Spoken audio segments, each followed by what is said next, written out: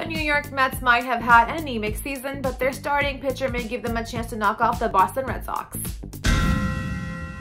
It's been a good run for the Bo Sox in recent days. Quite a few onlookers have been skeptical about their ability to keep pace with the high-flying Blue Jays, but they were able to do what the New York Yankees couldn't. They handled the Baltimore Orioles. They got good relief pitching from long men in the bullpen like Tanner Houck and their crucial bats are catching fire again with timely hitting from Xander Bogaerts on Saturday and Hunter Renfroe on Sunday. Leading to wins, they have to stay in the coveted AL wildcard spot. But when they get going against the Mets tonight, they run into a pitcher with a great track record. Marcus Stroman has looked like an ace lately, punching out 45 batters in 41 innings and a decent whip of 1.06. It's a much better stat line than Boston starter Eduardo Rodriguez, who has an ERA of 5 and only has one win in September. Wednesday would be a better time for a Red Sox bet with Chris Sale on the mound. But for today, I like the underdog.